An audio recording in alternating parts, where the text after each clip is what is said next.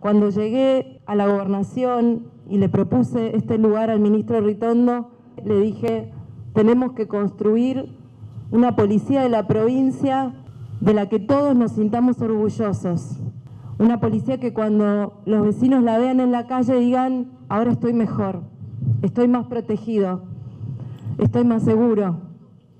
Y al mismo tiempo tenemos que devolverle a esa policía todo el cuidado, la protección y el respaldo que se merece.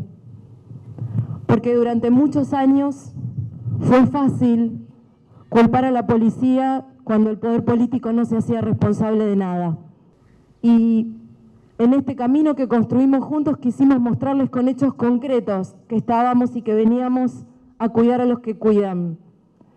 Desde devolverles a cada uno algo tan básico como un chaleco para que volvieran a su casa en condiciones, hasta haber renovado todas nuestras comunicaciones para que fueran encriptadas y ningún delincuente pudiera escuchar cuando modulan, hasta haber incorporado más de 2.400 patrulleros, más de 1.000 motos, más de 200 destacamentos móviles y también, por supuesto, recuperar lo que para nosotros es más importante, devolverle el valor del mérito al que se capacita, al que sigue aprendiendo.